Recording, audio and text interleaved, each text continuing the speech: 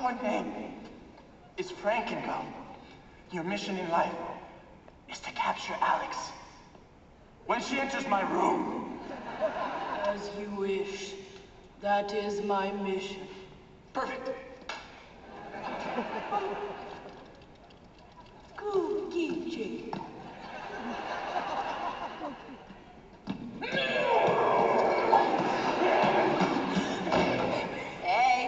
you want a raisin? Poop. Good.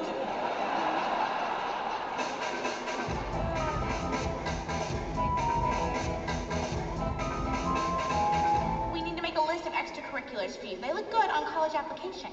Well, does sneaking into Justin's room look good on an application?